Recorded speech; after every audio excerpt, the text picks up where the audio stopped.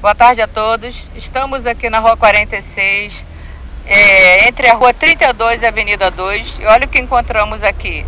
O ônibus da aviação Nossa Senhora do Amparo, caído aqui dentro da vala.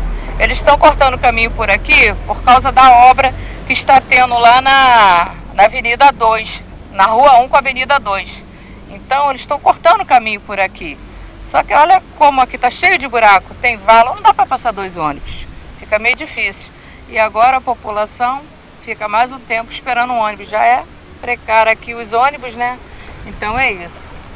Aqui Vera Lúcia da TV Itaquaçu, imagem de Beto Vídeo.